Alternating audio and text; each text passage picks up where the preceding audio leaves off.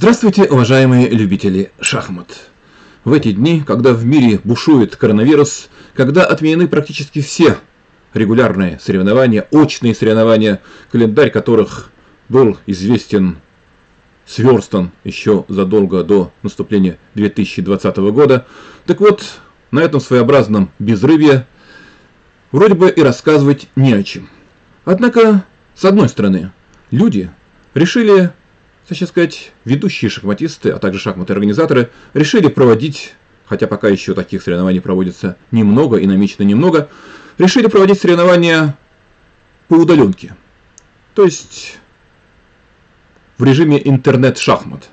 Достаточно популярным видом игры, которые, однако, до сих пор, до этого последнего кризиса, не обрели достаточной популярности. Ну а кроме того, сражаются между собой шахматные машины.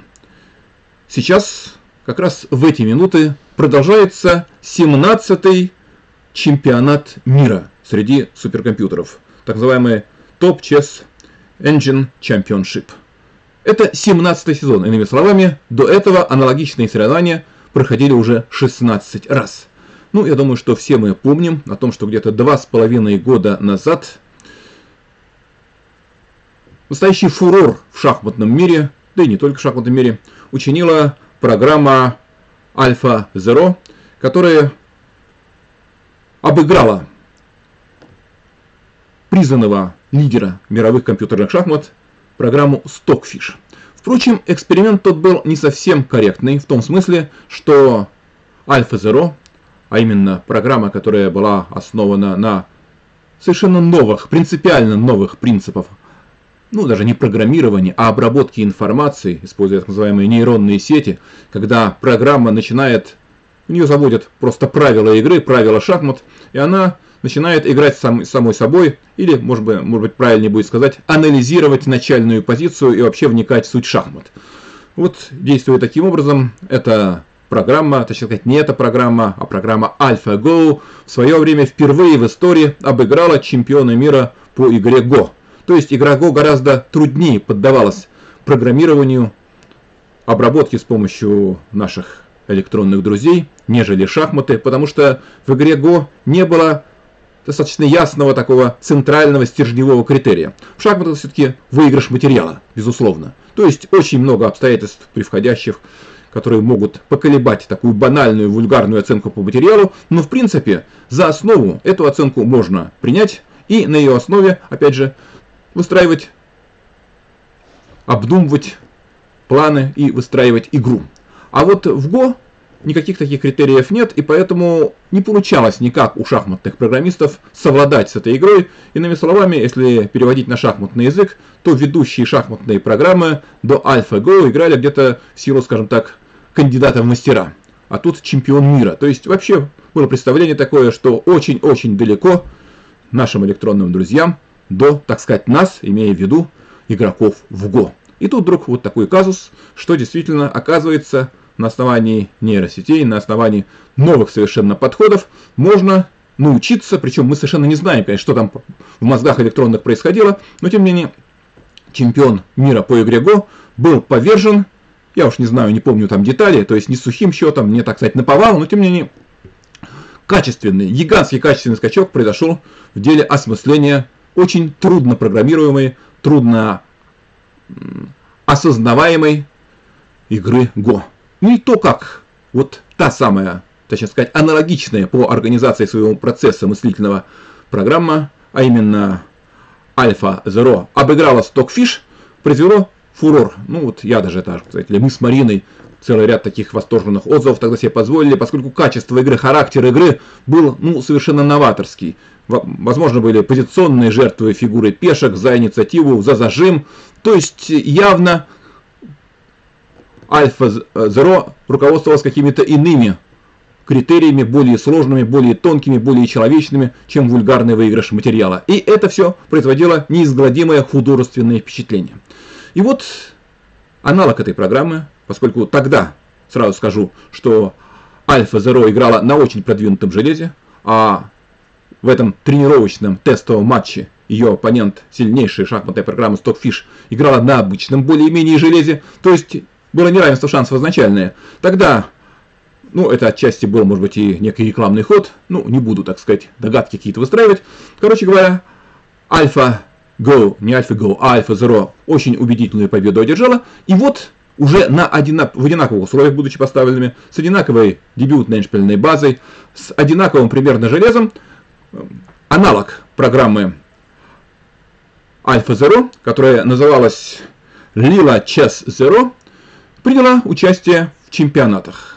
Первый раз ей не удалось, хотя в, упорной борьбе она играла, с, вышла в финал, суперфинал, и играла тогда с командой Stockfish, но уступила с разницей в одно очко на финише.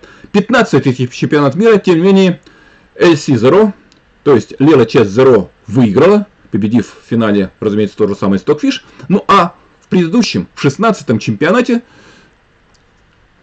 LC Zero не вышла в финал, потому что заняла третье место в круговом турнире, отборочном главном.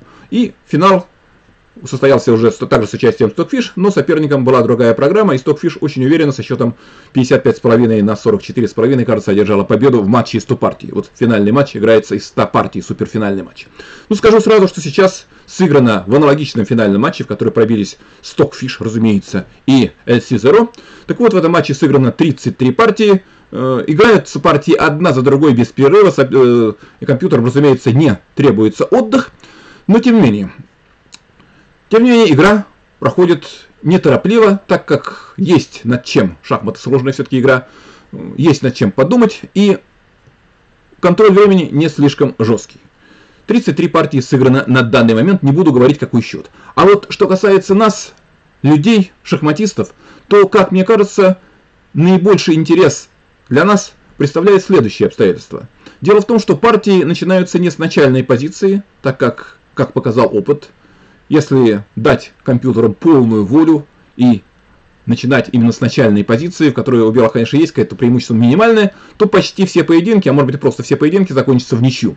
Все-таки начальная позиция, это было интуитивно понятно, но это лишний раз подтверждается компьютерной практикой. Так вот, начальная позиция ничейна, поэтому для того, чтобы, с одной стороны, не нарушить равные условия у соревнующихся, противоборствующих сторон, а с другой стороны, ну, предложить соперникам посоревноваться, посражаться в положении, где одна из сторон имеет преимущество, причем понятие преимущества достаточно относительное. Например, вот королевский гамбит. Сразу белые получают худшую игру, но ведь на протяжении долгих лет белые так играли и играли не без успеха, имеется в виду люди. Так вот, нас интересовало, ну поскольку, то есть я закончу мысль, дело в том, что одну партию играют с этой позиции некой табии, которая предлагается в обязательном порядке компьютером, одним цветом противоборствующая сторона и следующую другим цветом. При этом, что важно, та часть дебютной базы, дебютной библиотеки, которая относится к данному дебюту, просто изымается. Ее, она отсутствует в памяти компьютеров, иными словами, они должны творить, так сказать, играть с листа, ориентируясь в этой позиции, которая предлагается им, как оригинальной. Так вот, поскольку компьютеру прилагается довольно много проблемных позиций, то есть тех позиций, которые были проблемными с точки зрения людей в дебютной теории, и не было однозначной оценки, то вот такие соревнования, такие встречи, они весьма познавательные и с точки зрения постановки окончательного диагноза, и с точки зрения того, как надо трактовать их, когда мы предлагаем посоревноваться в данных положениях очень сильным компьютерным программам.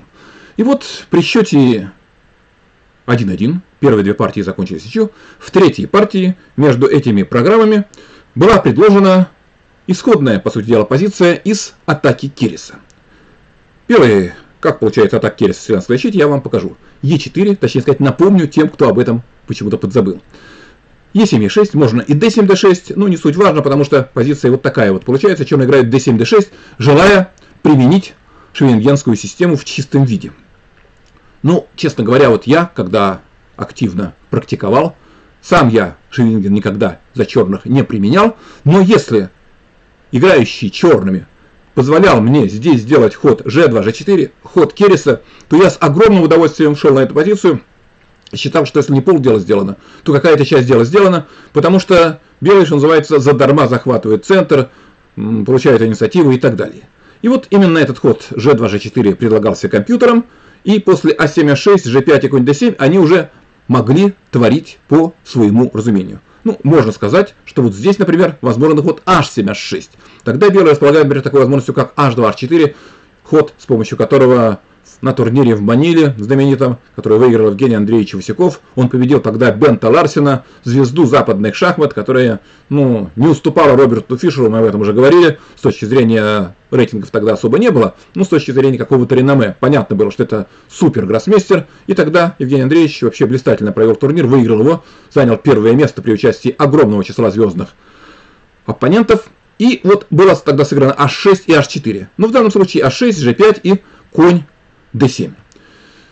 Итак, белые на распутье. Понятно, что то обстоятельство, что они захватили пространство на ферзевом фланге, на королевском фланге, конечно, надвинув пешку dg5, это совсем немало. Понятно, что они могут связывать свою дальнейшую игру с длинной рокировкой. И поскольку черные ну, уступили пространство, так почти что без боя, согласились на то, что их коня прогонят на поле d7, воздействовать на центр белых трудно, то, в общем, совокупность этих обстоятельств позволяет оценить позицию и перспективы белых весьма и весьма оптимистичны. С другой стороны, все-таки некоторые шахматисты с готовностью на эту позицию шли, поскольку прямого вскрытия позиции, прямой лобовой атаки на королевском фланге белые, вообще-то говоря, развить не могут, то есть черные, конечно, не будут безумно рокировать короткую сторону, когда не надо, а окольные сицилианские методы воздействия на ферзевый фланг белых, на центр, при отсутствии явных слабостей позиции черных, дают черным надежды где-то перехитрить белых и перехватить инициативу. И вот как здесь играть? Ну, можно играть слон Е3, можно играть H4. H4, кстати, ход идейный. Раз уж начали надвигать пешки на королевском фланге, так почему не продолжить это? Но вот Stockfish в третьей партии сыграла А2А3. Сделала вот такой вот внешне странный ход. На самом деле это профилактика на случай немедленного b5. Ну, опять же, компьютеры не люди. И психология такая вот э, им чужда. А если бы играли люди, то я могу сказать, что вот, конечно, А2, А3, чтобы черные не играли b5, поскольку ну зачем играть b5, когда все равно b4 вы сыграть не можете. Например, там слон e3, слон b7, там h4 возникает вот такая вот позиция. Она могла возникнуть при другом порядке ходов, например, если белые начали бы с хода слон e3. Но они начали с хода a2, a3. И хочется еще отметить одно обстоятельство. Вот я сейчас рассказываю о партии. Если бы была партия людей, то мне было понятно, о чем надо рассказать, о чем надо поведать. То есть я считал бы, что более-менее я представляю тот комплекс соображений, общих, конкретных и так далее соображений, которыми руководствуется человек, играющий белыми, играющий черными, делая те или иные ходы, о чем он думает, какие сомнения его обуревают, почему он предпочитает одно продолжение другому, почему он подзевнул здесь, такое тоже случается. То есть в чем, так сказать, психологическое объяснение этого. А когда играют компьютеры, ну полная растерянность у нас. Так как они считают варианты с помощью наших скромных программ, наших электронных помощников, обычных, ну, сделать какие-то выгоды, выводы по поводу мотивов, которыми руководствовались суперкомпьютеры, а в всяком случае гораздо более мощные программы, выбирая то, то или иное продолжение, делая тот или иной ход, ну просто бессмысленно. Понятно, что их счет участников этих электронных в борьбе гораздо глубже, гораздо точнее. А что касается комментатора, то остается лишь оценить позицию в целом, объяснить, э, что, куда, чего одна из сторон хочет, и довериться в области конкретного счета играющим партию программам. Итак, А2, А3, конь С6 сыграла здесь Лила Чезеро, от b5 черные отказались, решили, что лучше подразменяться на поле d4, следует слон e3, и белые, наверное, были довольны, если так можно выразиться, таким, таким порядком ходов, поскольку ход b5 это продолжение, без которого черным очень трудно в этой системе что-либо предпринять. Конь e5, и вот интересный момент. Если белые сейчас или чуточку позже, в ответ на конь e5, на такую вроде подставу, начнут активные операции с помощью f4, то черные добьются своего, то есть добьются некоторого облегчения. Тогда они смогут взять на d4, слон бьет d4, отступить здесь можно на g6, даже не на c6. Это был бы темп, но c6 конь стоит стандартно, но не так хорошо. А после коня 6 атакована белая пешка на f4, и можно после слон e3, защищая эту пешку, а иначе нужно считаться с ходом e6, e6 и 5 с темпом. Слон на d4 попадает под этот удар e6 и 5. Если слон уйдет, чтобы не было возможно e5, тогда f5 и у белых огромное преимущество, то можно подорвать позицию белых, вот эту самую фалангу с помощью h7h6, и получить контр-игру на королевском фланге, при том, что атака белых на королевском фланге уже заведомо не идет, так как сильнейшей стороной, в некотором смысле, на этом участке доски внезапно стали черные, а не белые. Вот такая маленькая провокация. Иной человек мог бы соблазниться ходом f4 и вместо лучшей игры получить чуточку худшую. Ну, разумеется, компьютеры не таковы. Слон e2, спокойный ход – никаких f4, никаких ослаблений, пешка на, d, на, на g5 защищена слоном, в случае удара на d4, разумеется, этого коня возьмет белый ферзь. Ну, это и следует. Вы видите, ферзь бьет d4, конь c6, теперь уже на g6 ставить коня никакого смысла нет, ферзь уходит на d2, слон e7, и белые играют h4. Ну, вот даже беглый взгляд на эту позицию уже позволяет оценить ее к явной, к значительной выгоде белых, потому что черные ровным счетом ничего доби не добились в области организации контр-игры. Они сделали какие-то ходы, белые подзажали их, черных. H7, H6 явно не то из-за GH, и там если G6, то H5. А GH это значит просто еще одна слабость в лагере черных на H6 появится. Черные вскроют королевский фланг, куда при случае может убежать их король, а после H6, разумеется, уже это невозможно. Короче, нужно что-то делать не на королевском фланге, а на фланге ферзем, и поэтому b5 все-таки черные ходят. Хотя у белых уже сделан полезный с точки зрения продвижения, противодействия продвижению пешки b ход а2, а3, и белые надвигают пешку h, создавая пока еще не угрозу уже 6, там ладья h1 не защищена, но может быть h6, может быть еще что-то. Короче, они концентрируют усилия на этом фланге, готовясь или сделать длинную рокировку, или может быть сыграть ладья g1. Таково вот первое впечатление. Ферзь опять. Появляется идея b хода b5, b4, и понятно, что после хода ферзь a5 рокировка это ход неправильный. Вот если белый здесь сделал рокировку, давайте я ее сделаю, этот неудачный ход, безусловно, не лучший и так далее, тогда последовало бы b4, вскрылась бы игра, причем конем отступить никуда нельзя, поскольку ba и ферзь на 5 защищен. А так черные добираются до позиции белых, хотя вот наши электронные друзья все равно говорят, что после взятия, но если шаг дать, то конь b1, ферзь b4, просто король b1, или там b3, у белых все равно лучше. Поверим в это.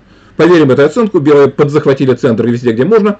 Контратака черных против белого короля не идет, но ферзь опять-таки смотрится как-то странно, неправильно. И ход с компьютерной точки зрения тоже не лучший. Он уменьшает преимущество белых, которое здесь, по мнению компьютеров, все-таки достаточно выражено. Ну, например, можно было бы сыграть ладья d1. Вот так вот. Рокировка. Ну, ладья d1, чтобы не допустить b4. Рокировка. Теперь рокировка. Очень странный ход, потому что оказывается, что прямой, то есть прорыв g5, g6, ровным счетом белым ничего не дает, но вот сделаем этот ход. И черные просто начнут забирать эту пешку. FG, AG, AG. И окажется, что... Ну чего белые добились? Линию скрыли, а атаки нет все равно. А по линии в черная ладья работает. Ну, все равно у белых получше, на самом деле. Но ход G6 не улучшил их, не увеличил это преимущество. Ну, можно сыграть 0-0, например, как ни странно, и играть вот так вот спокойно эту позицию, ну, как-то душа не лежит в такого рода э, разыгрыванию положения, вы или мы, с точки зрения белых рассуждаем, нагдали, догнали пешки g5, h5, а потом ввели короля в ответ на рокировку соперника куда-то вот сюда вот и лишили себя возможности продолжать атаку. То есть не то немножко ладья d1, и, видимо, вот если переводить с компьютерного языка на обычный человеческий, можно сказать, что ход ферзь опять решил свою задачу. Он позволил черным защититься от каких-то возможностей прямой атаки на их черного короля.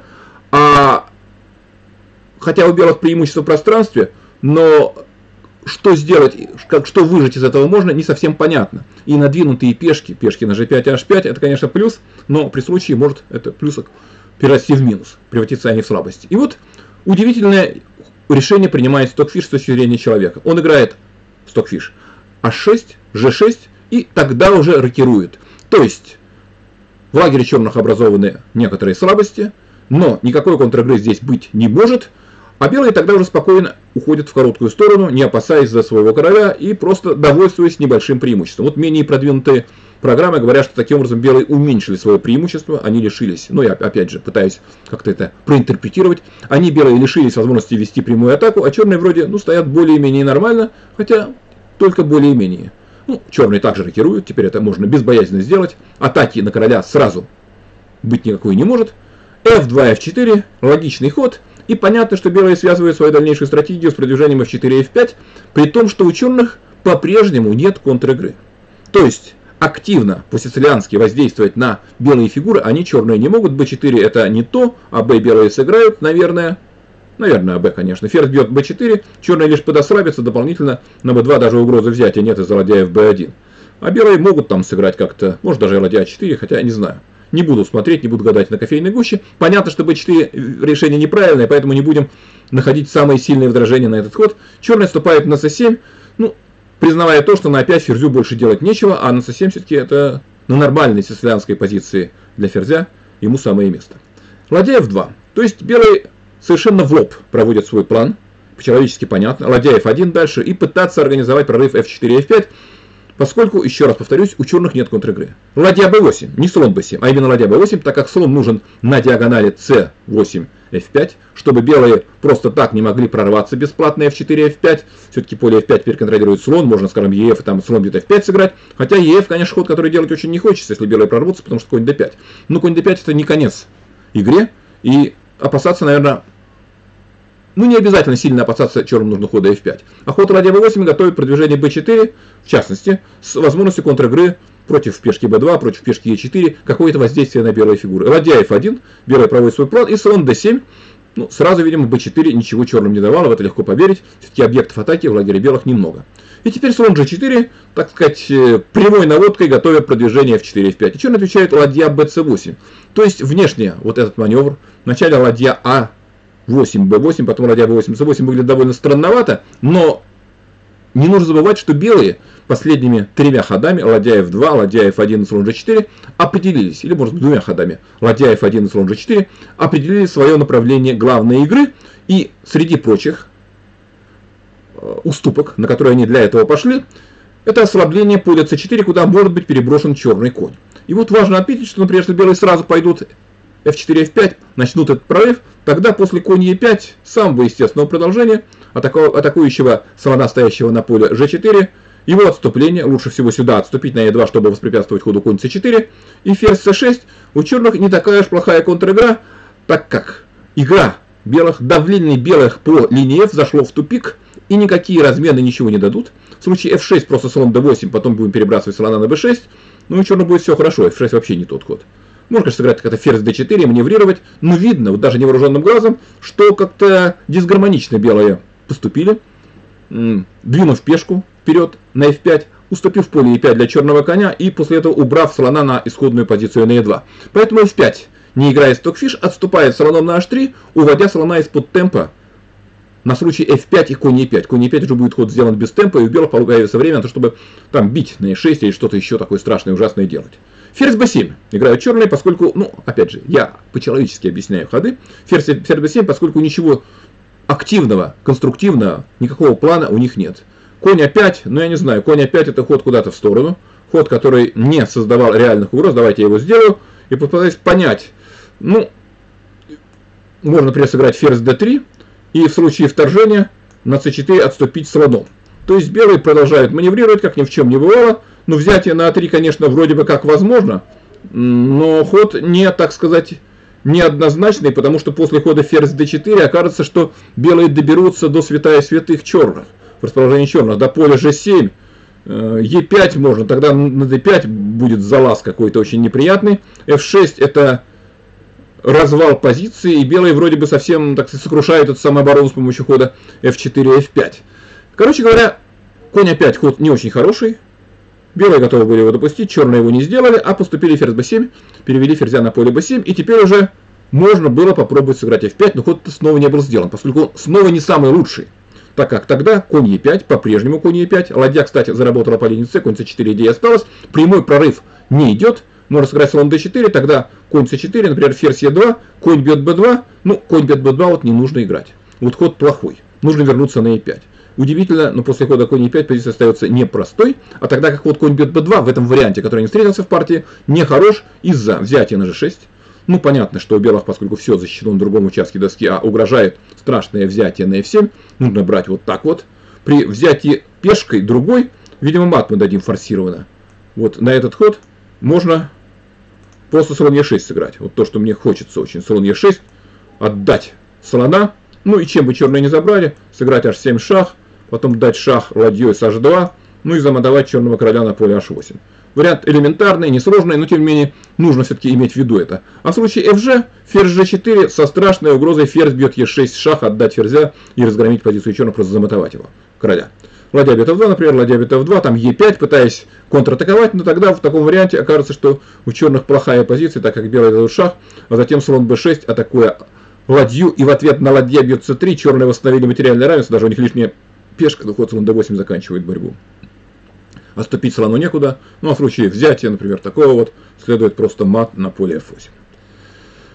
Итак, f5 можно было сыграть, но черные должны были сыграть тогда конь e5, как мы уже говорили, и в ответ на слон d4 можно прогнать этого самого коня, но дальше идти не надо, а нужно отступить на поле e5.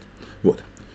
Конь а2, такой странненький, на первый взгляд, ход, делает здесь стокфиш.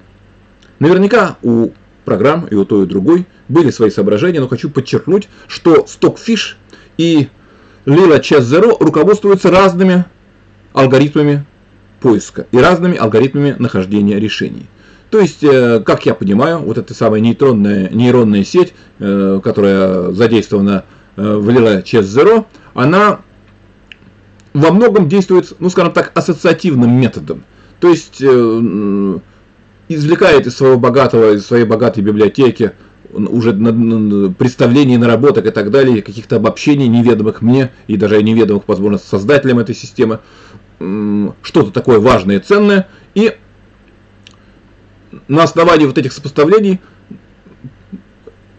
определяет, какой же ход кандидат наиболее выгоден, хорош и так далее. А Stockfish это просто реализация классической версии, классической версии поиска ходов с помощью альфа-бета отсечения и просто глубокого счета, плюс какие-то позиционные веса дополняют этот поиск.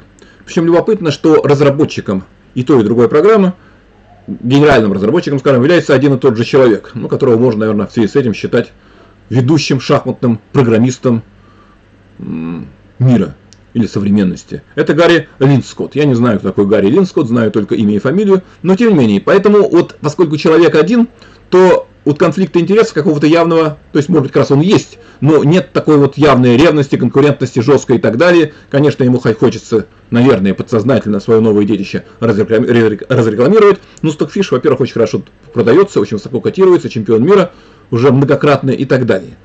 Так вот, после коня 2 черные играют опять, не допуская коня на поле b4 и, может быть, сами готовят продвижение b4. Как можно догадаться, ход коня 2 обусловлен тем обстоятельством, что после f4 f5 Стокфиш не нашел какого-то по-настоящему сильного, убедительного, мощного продолжения атаки. Черные как-то окапываются, и белые решили, что не нужно форсировать пока игру. А вот тут конь возвращается, как ни в чем не бывало, на c3.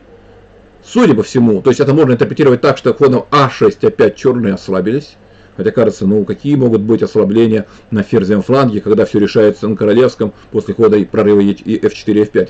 На самом деле, видимо, очень глубокая оценка, очень глубокий счет, показывает, что действительно это некое ослабление, что одного королевского фланга и одной линии F, возможности прорыва f4, f5 белым для выигрыша недостаточно, поэтому столь четко, однозначно обозначенный план с созданием ладей, с переводом слона на h3, план, связанный с f4, f5, ну, требует э, при его осуществлении какого-то терпения. Ладья b8. b4 сыграно не было. Хотя b4 вроде ход выглядит очень так логичненько, вот как не прорваться. Но оказывается, что после этого черт белые сыграют конь а4 с угрозой, с идеей вторжения на b6, и это у белым очень выгодно, а черным нет, потому что ничего на фланге черные не добились, а конь b6 это вилка, и вообще слон окажется в уязвимом положении. То есть b4 поспешный ход, тогда как ход ладья b8 самое оно. Он был сделан, и белые играют b4. То есть игра на двух флангах, э, можно сказать, в стиле Карпова. Хотя не очень в стиле Карпова, поскольку b4 смотрится как явное ослабление, но какие-то глубины наверняка в этом ходе сокрыты. А Б, А Б, ну ясно, что брать на Б4 нельзя. Этот ход не был сделан, было сыграно ладья С8, в случае этого ужасного хода белый реализует очевидную идею. Сыграет ферзь d4 с угрозой мата на g7 и с атакой коня, после чего этот конь теряется. Там Е5, ферзь бьет b4, можно черными сыграть, да нельзя уже, даже d5 нельзя, слон подвисает. То есть конь b4 это грубейшая ошибка, разумеется, черный так не играет, играет ладья c8, fc8, потому что что-то надо противопоставить игре белых. Но вот как-то за очень короткое время, на протяжении буквально двух ходов, вот здесь, вот смотрите, белые сыграли, вернули, сыграли, обратите внимание, конь А2, внешне странный ход, я повторяюсь, опять, конь С3, провоцируя на Б4, и тогда конь 4 с перевесом, ладья Б8. Б4, уж совсем удивительная штука. То есть здесь белые используют тактический мотив. Нельзя взять два раза на Б4 за ферзь D4. АБ, АБ и ладья С8. Черные вроде все как надо делали. И вот их позиция, которая была просто похуже, стала очень тяжелой. Поскольку белые теперь располагают возможностью прорыва F4, F5, когда черная ладья ушла с поля F8. Но все, конечно, может быть в жизни людей. Я предполагаю, что подобного рода решения, наверное, они правильные в некотором смысле, а может просто абсолютно правильные со стороны белых, но подобного рода решения нам почти никому, даже выдающимся самым гроссмейстерам, недоступны. Если, конечно, не домашний анализ. Но 26-й ход, только что был 25-й, там на 23-м белые уходили коня. Очень далеко от начальной позиции, конечно, доанализировать до этого положения невозможно. Тем не менее, вот f4 f5 и начинается страшная атака, взятие на g6, fg. Опять же, hg, если что, если сыграть hg, э, то есть идея h7. Нужно ли так играть? Так нужно играть, потому что в случае взятия на h7 белые бьют на f7 шахом. А если черные здесь играют король g7, тогда что? Тогда, видимо, какая-то связка коня с очень сильными угрозами. Таково первое впечатление. Думаю, что второе впечатление тоже не слишком противоречит этому первому. Итак, король g7. И слон d4 с угрозой взятия на f7. Ну, ладья f8 это не очень хорошая защита, поскольку можно сыграть h8, ферзь, отвлечь или короля и ладью ударить на f7, громя позицию соперника. Поэтому вроде как слон e8 лучшая защита, но ладья f8 может быть тоже. И тогда слон e6 решает.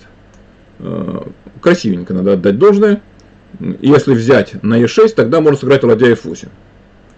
Э, ну, чудеса, конечно, хотя не очень такие трудно, трудно доступные. Есть ход конь f3 какой-то, а конь f3 нет хода, конь связан. Ладью брать нельзя, ферзь пройдет, а если взять на h7, тогда вот такой вот шаг и мат с поля h8. Опять же, вариант, который я сейчас привел, он не очень сложен с одной стороны, а с другой стороны он не бросается в глаза. И то, что у белых просто почти выиграно, или можно сказать выиграно строго после хода HG, ну не очевидно. То есть FG вынужденное решение. Теперь слон F4, присматриваясь к коню и создавая перспективы, возможности для вторжения. Хотя, с другой стороны, знаете, вот наши электронные друзья вдруг начинают уменьшать оценку. То есть казалось, что белых почти совсем выиграно, а теперь, ну, начинается борьба. Правда, ладья F8, надо играть ладья F8 или нет?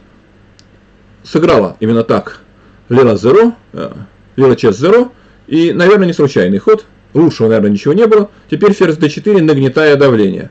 Опять же, удивительное дело. То есть белые сильно раскрылись. Белые образовали довольно много слабостей в своей позиции. Таково первое впечатление. На самом деле атаковать-то нечего. На b4 пешка не атакована. Конь на c3 по линии c уже не под ударом черных фигур. Пешка на g5 ну, где-то в каких-то вариантах ее можно забрать, но белый уже угрожает совершенно конкретным ударом на e5. Ферзь c7 защищает этого коня, поскольку дальше ферзь пробился белых на g7, ближе к матовому полю, матующему полю, и теперь конь d5. Ну, очень красиво. Было ли здесь у черных что-то лучшее, чем ферзь c7, я не знаю. Можно сыграть, например, было ладья бьет f4, то есть заманчивое вот такое решение, может быть, чем-то правильное, логичное, взятие, взятие на g5, ну как логичное? Я рассуждаю как человек. Я рассуждаю как человек – Э, сказать, что я недооцениваю ход ладья f7 не могу. Ход естественный совершенно. На взятие на f7 следует ферзь g7 мат. Поэтому конь бьет f7 невозможно из-за ферзь g7 мат. Угрожают какие-то страшные ужасные вещи по седьмому ряду. Угрожает слон бьет e6. Ферзь там подвязан. Например, на слона 6 будет слон бьет e6. Можно, конечно, дать шах. Заставить белых забрать этого слона. И после этого конь бьет f7. Кажется, что все у черных хорошо. Но после ферзь f4 белые таки все-таки добираются до черного короля. На 6 отдавать фигуру ну очень не хочется, можно дать, конечно, какой-то шаг, но это не, не, не сильно помогает, потому что что дальше? Если ладья f8, то ферзь f6. А как еще защищать? Если слон e8, то ферзь f6 на конь h6, ферзь f8. Ну, никак не защититься. Поэтому нужно вроде играть конь h6, отдавать фигуру, и позиции черных плоха, хотя некоторое время бороться можно. Напомню, что даже вот ладья f8 не помогает по причине ферзь f6 с угрозой ферзь g7, и на взятие на h6 подвисает ладья с матом в один ход. Ну, поэтому это не помогает, ладья бьет f4 не помогает, было сыграно ферзь c7, теперь конь d5, ну, брать надо, это понятно. Слон бьет d7, и оказывается, что белые разгромили позицию, прорвались, атака в сильном пункте. Вот у Игоря Аркадьевича Зайцева такая книга есть, атака в сильном пункте, э, когда вроде бы уж укреплен, переукреплен какой-то пункт, какое-то направление танкоопасное, скажем так, в позиции соперника, а вы, тем не менее, вот в нем наносите какой-то удар, какая-то перегрузка, и все складывается. Это, конечно, производит сильное впечатление эстетическое. А тут, смотрите, слон бьет d7, что делать? Конем брать нельзя, будет сыграно ферзь g7 мат, поэтому ферзь бьет d7. Теперь ферзь бьет d5 шах. Если король h8, то просто слон бьет e5, черные сразу проигрывают, поскольку теряют ферзя, или даже от ферзь бьет e5 еще сильнее, чем взятие на d7, потому что здесь почти форсированный мат, потому что там ферзь g4, можно уйти смело вот так вот. Это я показываю, кстати, компьютерный вариант, если ферзь h4, то ладья 6 f3 с шахом черному королю, и все заканчивается сразу, поскольку теряется ферзь. То есть нельзя отступать на h8 из-за слон бьет e5, а после коня f7 хода сделанного в партии следует ферзь d4. Белые играют без фигуры, но создают смертельную угрозу мата на g7. Что делать? Ну конь e5 только. Или слон f6. Ну слон f6 было сыграно. Конь e5 совсем нехорошо из-за слон e5. Белые ничего не отдав, возобновили все угрозы, включая угрозу ферзь d5 шах. А после слона f6, ферзь бьет f6, конь e5, конечно, вроде как отбились чуток черные, но следует ферзь g7 шах. Вот, опять же, издалека человек, играющий как, как белыми, так и черными, или так, белыми или черными, может остановиться, увидев такую защитительную идею. Слон f6, еще раз повторюсь, слон f6, бить пешкой не хочется, но можно было бы, по идее, согласиться на это взятие пешкой, там ферзь g4, у черного контр-игра, ладья может быть c8, не знаю, как правильно играть, но контр-игра есть. А тут все, как ни странно, потому что белые дают шаг g7. Вот такой странный вроде бы шаг, нужно досчитать до этого, понять, что это форсированно выигрывает легко. А вот э, проникнуться всеми, так сказать, глубиной замысла, для этого нужно минимальное время. Нужно сконцентрироваться чуточку. Ну, меняться надо. Что делать черным? Если ладья f7, тогда слон бьет e5, размен на f2, взятие, взятие, и получается та же самая позиция, тот же самый пеший эшпиль, э, который мы сейчас увидим. Белые идут вперед. Важно что? Что черный не успевает образовать проходную на королевском фланге, так как на любое движение пешки следует жаж. А коль скоро черные бросятся королем к этой пешке, то белые сыграют c4 и проведут свою пешку в b ферзи. То есть не хватает времени. И то же самое абсолютно один в один получается после хода сделанного Зеро. Лера Чес Зеро. Ладья e8, слон бьет e5. Бить ладьей нельзя из ладья f8, придется или отдать ладью, или получить мат сразу. А после взятия белые жертвы пешки же отдают то есть меняют все ладьи, играют король f1, даже не король f2, не знаю почему король f1, ну и все. По той самой причине, о которой я говорил. Король f7, король идет вперед. Если король e7, этот ход не был сделан, тогда можно просто приблизиться к флангу. Если черные пытаются как-то упираться, а теперь уже, а, движение пешки аж нельзя даже и помыслить, помечтать, после же аж белая фешка сразу станет ферзем, а тут белые естественным самым образом э, теснят черного короля, догоняют его до, запотовывают, не будет пешек по линиям g и h, белых и черных это был бы пад, а тут приходится двигать пешку аж, и белые проводят или ферзя, или ладью и ставят мат черному королю. Элементарно, понятно, но тем не менее привел на всякий случай этот выигрывающий вариант, иллюстрирующий то, что произошло бы, если бы черные просто пытались стоять на месте и препятствовали бы перевести короля на ферзь фланг продвижению белой пешки ферзи. Король f8 было сыграно, c4, но ну, здесь все очень просто. Король d2 с идеей взятия пешки, король g7, b5, король f8, b6, но черные вот, компьютеры не сдаются известная формула, русские не сдаются, а тут, можно сказать, компьютеры не сдаются, и пока не случилась вот такая вот позиция с матом черному королю, борьба продолжалась. Ну, это не борьба, конечно, но тем не менее. Тем не менее, еще раз повторюсь, компьютеры не сдаются. Ну, а теперь давайте посмотрим, как ту же самую позицию играли те же самые программы в следующей четвертой партии. А в четвертой партии белые фигуры уже принадлежали Лела Чиззеро. И вот в этом положении оппонент Лела Чиззеро – признанный лидер мирового компьютерного движения, программа Stockfish, играла А2-3. Такой странный ход. Но воспоминания об этой партии, я не знаю, сохраняются или нет, о предыдущей партии. Но было сыграно слон Е3, так поступила Лила Ч0, и борьба здесь продолжается, то есть носит иной характер, чем той партии, когда казалось, что черные как-то так вот беззвучно, безропотно проиграли, позволив себя разгромить. Но Хочу ваше обратить внимание, что все-таки еще раз напомнить, что белые делали ход странный конь А2. Белые возвратили коня, белые сыграли b4, зажимая тотально соперника на ферзевом фланге. И оказалось, что это все правильно, потому что ну, не получается, у черных как-то не получилось и не, не получалось никак вывернуться, ускользнуть из этих самых тисков железных. И разгромная атака. Причем даже доведение пешки аж до поля h6 оказалось в некотором смысле правильным, может объективно правильным.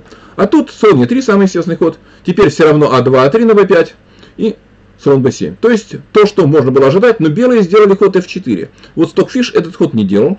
А тут f4, что позволяет, то есть долгое время, некоторое время, достаточно долго f4 белые не играли, а тут конь c6, начиная какие-то завязки в центре, с идеей ударить на d4, сыграть e5, как-то подразгрузиться. Ладья же один, тем не менее, не опасаясь этого варианта. Ладья c8. Но я подозреваю, что на взятие на d4 белые, наверное, взяли бы ферзем и отступили бы на e5, на d2.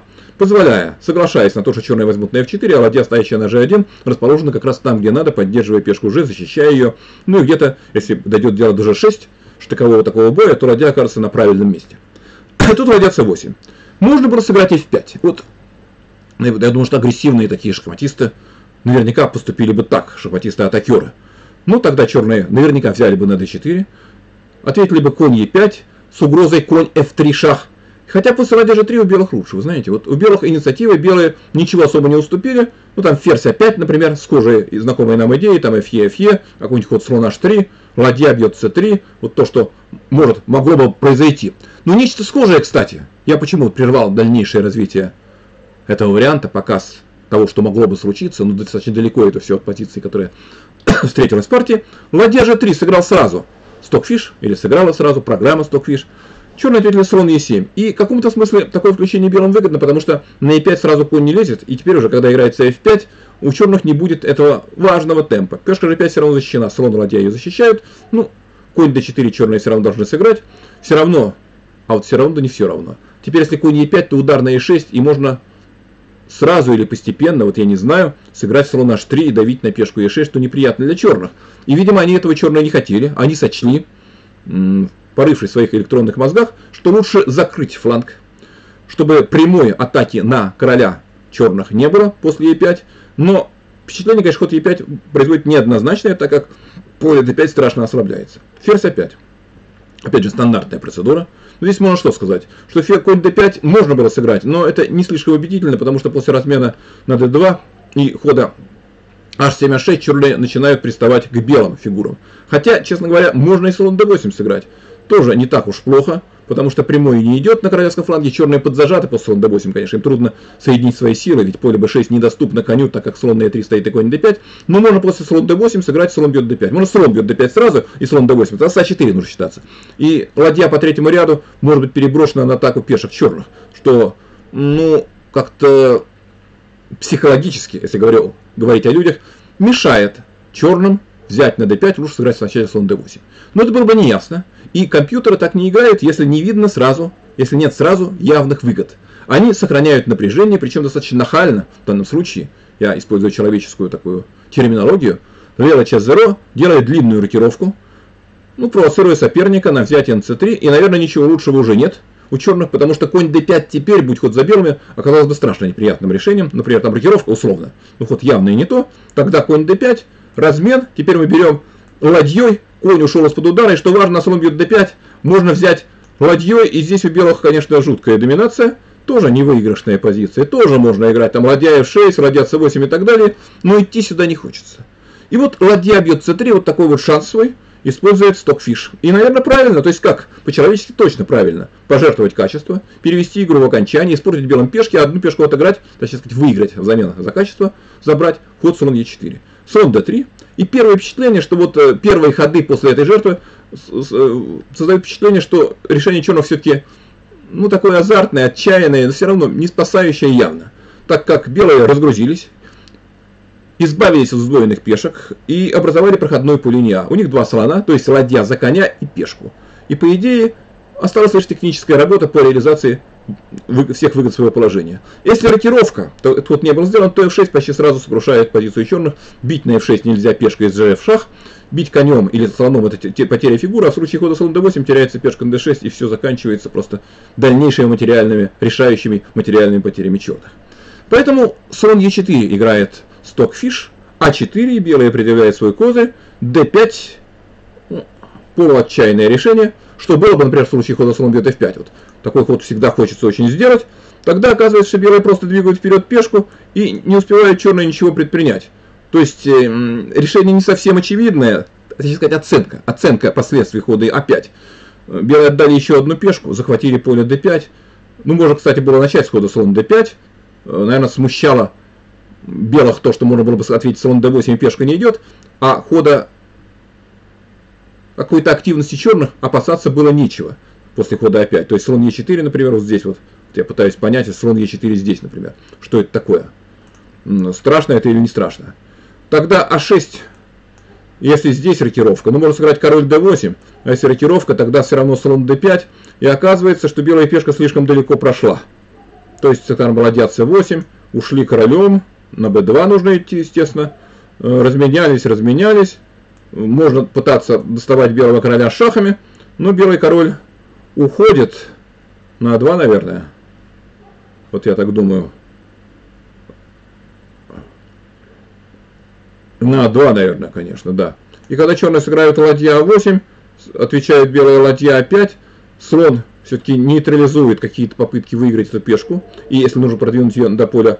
А вот, кстати, здесь, вот вы знаете, мы, так сказать, допустили некоторую ошибку, то есть оказывается, что здесь у черных не такая плохая контр-игра, и ситуация не ясна. У них все-таки у черных две пешки теперь, две пешки за качество. У белых все равно лучше. У белых все равно лучше, но вот после А5, d4 черные все-таки добрались таки до белой пешки, вот до этой самой. Э, ладья ЖБ3, это гипотетический вариант, конечно. Э, и бить не очень хорошо, Потому что если взять ладью, то удар, удар и ладья, ведь b7, а если взять слону, то ладья b7 сразу. То есть у белых все равно большие шансы на победу.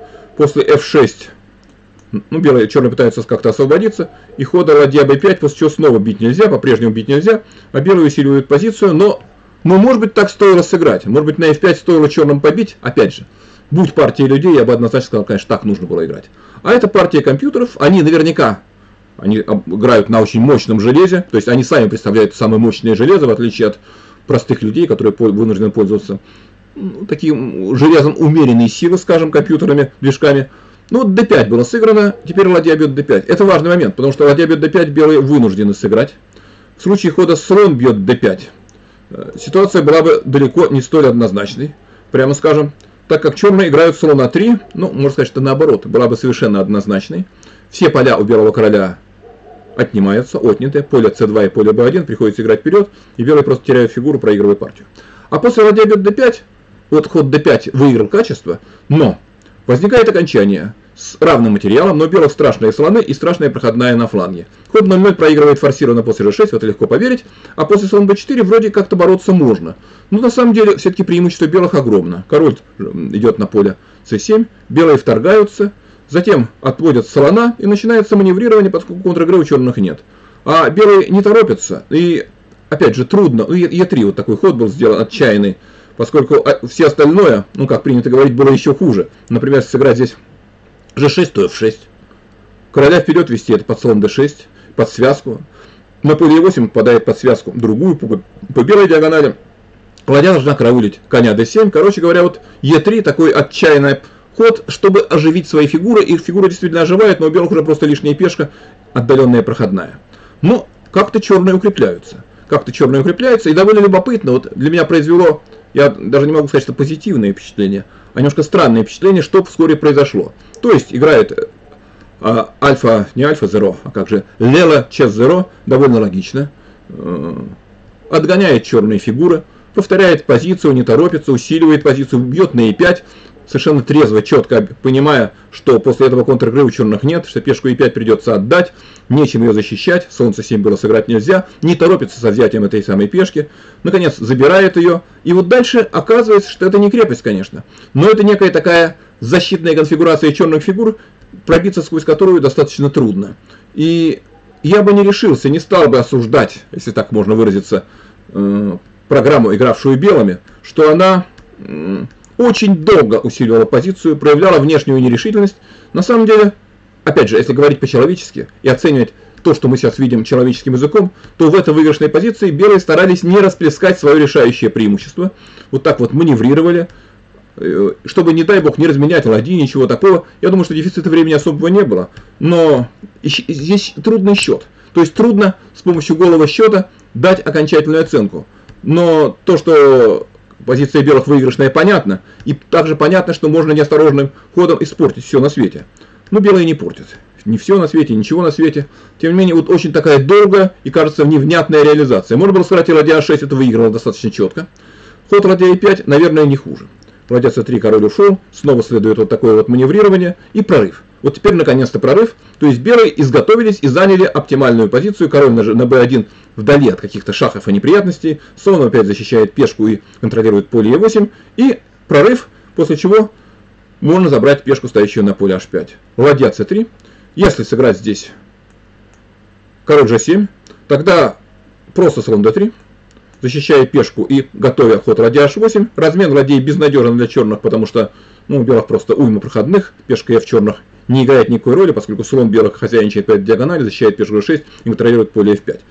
Поэтому выигрыш элементарен. А после ладья c3 хода сделанного следует ладья d5, слон d3, слон b6 и опять. То есть здесь уже понятно. Здесь уже, так сказать, не нужно ничего пояснять. Очевидно, что позиция белых выиграна элементарно, что и доказывает дальнейшая игра. А6, слон e5, отступление слона, ладья c3, король вперед. Опять же, компьютеры не сдаются. Компьютеры не сдаются, ну и разве что в самый последний момент, хотя, мне кажется, у их, так сказать, хозяев есть право капитулировать, чтобы ну, не терять время. Ладья e5 можно было давно сдаться. Я все-таки показываю это до конца все. Ладья e8, ладья e7, если взять это до g8, можно и коня поставить. Ну, лучше ферзя. Хотя я не знаю, может быть, человек в случае хода ладья e7 со стороны соперника поставил бы коня, взял бы на e7, и в случае король g4, белые пешки, сделали бы так называемые штаны, разорвав черного слона. А тут ладья а8, а7, слон e3, ладья бьет e3, почему слон e3? А уже делать нечего. Следующий ход белых это слон e6. И когда возникла вот такая вот позиция, король пошел вперед, король бьет а7, и здесь вот была сфиксирована капитуляция. Можно, конечно, до сих пор было не играть, но, как я еще раз, повторюсь еще раз, я уже это говорил, компьютеры не сдаются. Вот на тот момент, когда мы писали эту, записывали этот выпуск, было сыграно из 100 партий суперфинала, а игра у компьютеров на суперфинале э, в топ Chess Engine Championship, то есть чемпионате мира среди компьютеров, это уже турнир, который проводится в 17 раз сейчас. Счет был после 33 партий 6-5 в пользу Stockfish. Очень упорная борьба. Причем, в отличие от э, того поединка, который я вам продемонстрировал, во всех или почти во всех остальных случаях э, победа одной из сторон была одержана в, в разыгрывании той табии, которая со сменой цветов не принесла победу другой. Это была первая партия, вторая партия ответная. Но, тем не менее, вот видите, стилистические особенности какие-то влияют весьма существенно в большинстве случаев на разыгрывание тех или иных позиций. Я думаю, что морочить вас голову э, показом каких-то еще весьма любопытных партий с точки зрения тактического противоборства и методов э, реализации своих планов я не буду. Все-таки это не человеческая игра, действительно компьютерная, и хотя бы в силу этого она, наверное, менее зрелищна. Ошибки, грубые тактические просчеты невозможны. То, что скрывается в их мозгах, нам недоступно. Какие-то, возможно, глубины, очень интересные, красивые, но понять это в большинстве случаев нельзя. Ну, что касается нас, то мы прощаемся, я прощаюсь, мы с Мариной, до очередной встречи. Возможно, она будет посвящена уже очень интересному турниру, публицу, виртуальному турниру, э, турниру по интернету, в котором начали борьбу 132 участника, шахматисты играли по нокаут-системе. Это блиц по 3 минуты без добавления, что важно. И вот в среду между собой сойдутся в финальном матче на большинство из 16 партий, то есть побеждает тот, кто набирает 8,5 или 9 очков. Чемпион мира Магнус Карсон и его, наверное, самый интересный оппонент, хотя, конечно, есть Хикару Накамура, если говорить о Блице, а Хикару Накамура в этом турнире не принимал участие, и Алириза Феруджа, которому мы посвятили одну из своих недавних программ. Ну, конечно, Магнус фаворит, но чем все это закончится, сказать трудно. Ну, я думаю, что забывать о компьютерном матче, о суперфинале чемпионата мира среди компьютеров мы также не будем. Ну что ж, на этом, пожалуй, все. Я, как всегда, призываю вас ставить лайки, подписываться на наш канал тех, кто не сделал этого ранее, и, разумеется, обыгрывать своих соперников, правда, в данном случае уже по интернету, поскольку большинство подавляющее из вас пребывает в режиме самоизоляции. Так вот, обыгрывать своих соперников по удаленке, когда вы играете с ними в шахматы. И, разумеется, не заражайтесь, не болейте и всего вам самого доброго. А пока, до свидания.